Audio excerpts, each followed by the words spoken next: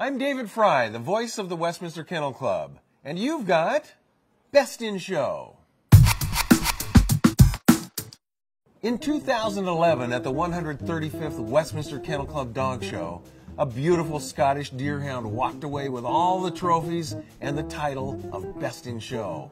What makes Hickory a great Scottish Deerhound? Well, they're supposed to be a rough coated greyhound with a deep chest and long, strong legs. A true, easy movement, but they're supposed to run their prey down. You look at Hickory and you can see an athlete that could do that.